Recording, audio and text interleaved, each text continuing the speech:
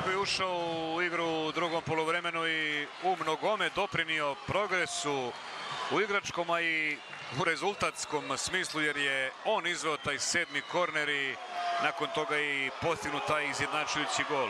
Oči u oči. Anđelo Rudović i Suad Ličina. Prvi penal Rudović preko gola. Prvi penal ne koristi ekipa Arsenala. Igrač koji je izvao dosta penala u karijeri, Marko Vučić, otprilike kao najsigurnija opcija u ovom trenutku kada je Sutjeska u pitanju, ide da izvede taj prvi šut. Igrao je svih 120 minuta. Sada su oči u oči Marko Vučić i golman Arsenala Igor Mikić. Vučić, brani Nikić, brani Nikić, nemamo gola nakon prve serije penala. Po sredini je šutirao Marko Vučić, ali ovdje vidite nogama u padu odbranio kao da je malo sačekao, iako odabrao lijevu stranu da se u nju baci. Sačekao je malo i uspio je Nikić da odbrani penal. Danilo Bakić i on je proveo svih 120 minuta na terenu. Bakić i Ličina sada oči u oči. Počinje druga serija. 1-0 vodi Arsenal. Prvi uspješno realizovan penal za ekipu Arsenala. Ka bijeloj tački ide Marko Matanović.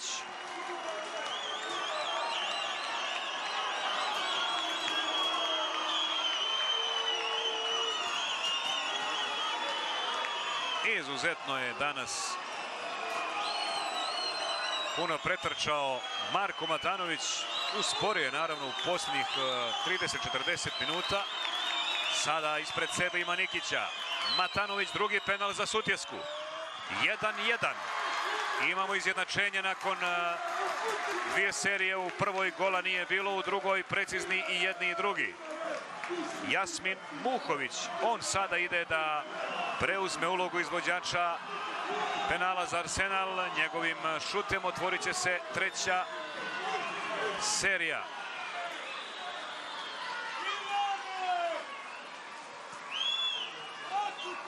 Trideset četvorogodišnji Jasmin Muhović.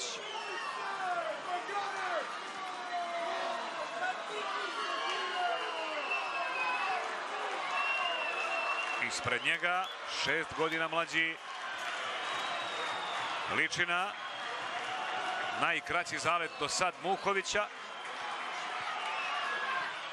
I on kao i igrač iz prve serije prebacuje gol. Božo Marković. On će šutirati sada za ekipu Sutjeske.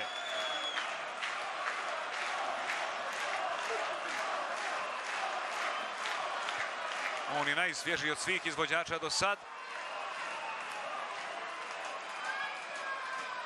Jedan od najiskusnijih u oba sastava, ispred njega Igor Nikić. Božo Marković može da donese prednost ekipi Sutjeske nakon treće serije.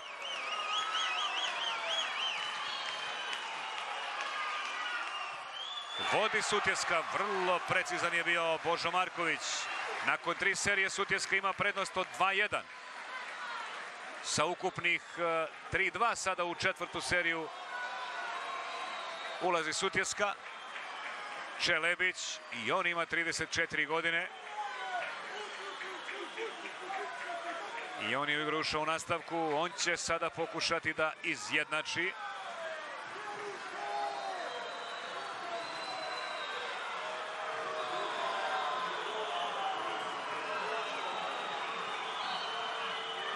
Nikola Čelebić i Suad Ličina. Precizan šalje loptu u jednu, a golmana u drugu stranu. Izjednačio Arsenal s tim što sada ide Dušan Vuković da zaključi četvrtu seriju.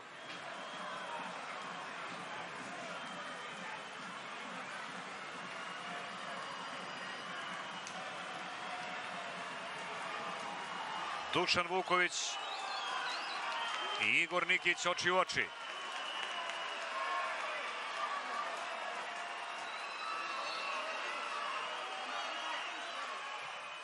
Četiri tri vodi Sutjeska.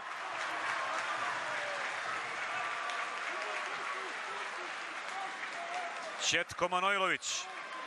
On je omogućio produžetke i penale. Da li može eventualnim golom omogućiti nastavak u slučaju da ne bude precizan? Ne bi Sutjeska ni izvodila peti penal.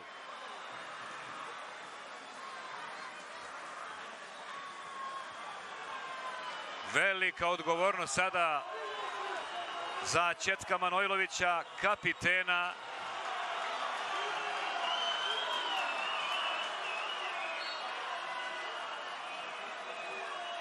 Zalet Manojlovića. Vrlo, vrlo precizno pogodio takozvanu malu mrežu.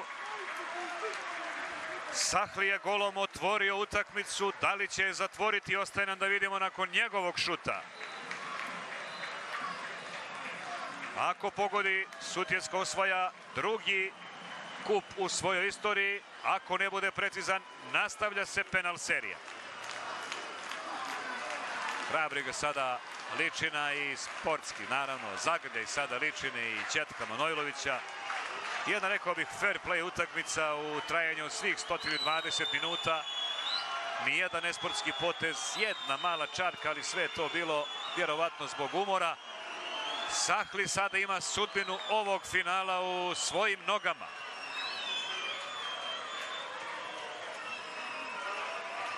Ouidi Sahli iz Francuske. Bio precizan u 28. minutu iz slobodnog udarca. Ispred njega ima Igora Nikića. Sahli. Sutjeska je osvojila kup Crne Gore nakon boljeg izvođenja 11 teraca protiv Tivatskog arsenala. U svom trećem finalu Sutjeska je došla do drugog trofeja. Arsenal nije uspio da u debitantskom nastupu u finalu Kupa Crne Gore osvoji trofej. Gledali smo dobru utakmicu, najduže finale kupa u istoriji koje je trajalo 3 sata i 20 minuta. Naravno zbog ogromne kiše, prvi trenerski trofej za Nenada Brnovića nakon što je ostao bez titule, odnosno nije uspio da dođe sa Sutjeskom do titule, budućnost je bila bolja u međusobnom duelu. Četiri dana nakon završetka šampionata, finale kupa Sutjeska iz Nikšića, nakon pet titula dolazi do dva osvojena kupa. Čestitke i jednima i drugima. Prvi put je Sutjeska šutirala penale u ovogodišnjem ciklusu Kupa Crne Gore i bila bolja od Arsenala koji je dva puta do sad izvodio penale i oba puta bio bolji. Uslijedit će ceremonija dodjele medalja i velikog pehara Dolje bi trebalo da i kolega Marko Perović da čujemo i izjave neposrednih aktera.